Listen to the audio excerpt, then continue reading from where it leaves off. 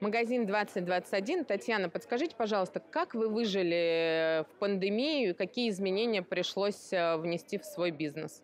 Ну, было нелегко, так скажем. Работали. Ну, может быть, что-то придумали для поддержки своего бизнеса? Может быть, вот доставку ввели или какие-то продукты новые? Ну, продукты новые были доставкой. У нас маленький, в принципе, город небольшой, поэтому э, покупатели больше хотят сами. Возможности есть э, приходить. Новые продукты, да, мы начали свое производство, начали э, производить кулинарию, какие-то вводить уже готовые, готовую продукцию, там салаты какие-то, готовые мясные продукты.